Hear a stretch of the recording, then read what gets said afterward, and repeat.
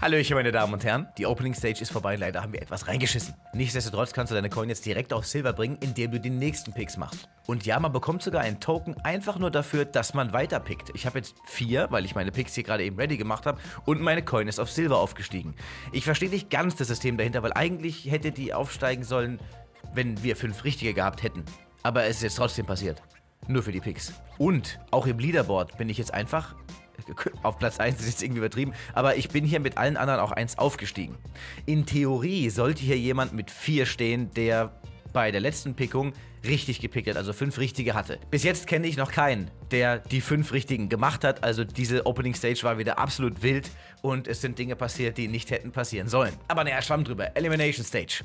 Das hier sind meine Picks. Ihr könnt die gerne wieder, wenn ihr wollt, einfach so übernehmen. Beim Maus sind wir uns, ich habe eben noch mit den Jungs im Teamspeak geschwätzt, noch nicht ganz sicher. Eigentlich sagen sie Maus lieber hier mit rein oder ganz raus und was anderes rein, aber wir wissen es noch nicht so genau. Das sind aber vorerst meine Picks und falls ich sie ändere, werde ich wieder unten im angepinnten Kommentar einen Screenshot mit meinen aktuellsten Picks reinsenden. Mit der Zeit, wann ich sie geändert habe. Ihr habt noch 8 Stunden oder 7,5 Stunden Zeit für die Picks. Das ist wirklich wichtig, dass ihr das heute Abend, heute Nacht noch macht. Morgen ist es zu spät. Und hier natürlich auch wieder der Disclaimer, das hier muss nicht so eintreffen, wie es eben da steht. Die Teams können reinscheißen oder überraschend gut spielen und dann ist es anders. Aber das sind zumindest so im Moment gerade die Überlegungen. Falls sich etwas ändern sollte, steht es wie gesagt im angepinnten Kommentar. Vielen lieben Dank fürs Zusehen, danke für die Kommentare und für die Likes.